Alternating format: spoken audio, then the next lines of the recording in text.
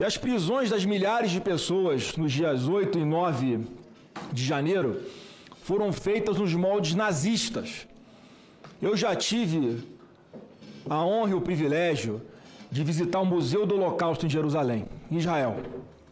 Quem não teve essa experiência ainda, faça o possível para ter, para saberem qual é o tamanho do grau de maldade e crueldade que alguém pode impor a, um, uma pessoa próxima, né, um ser humano na vida.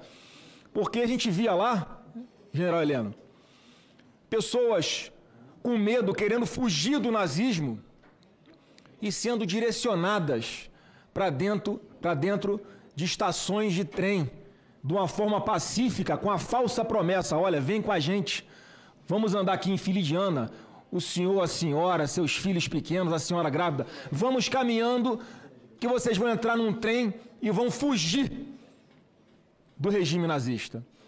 Enquanto estavam dentro das estações de trem, eram ligados, ligados às câmaras de gás. E as pessoas morriam aos milhares.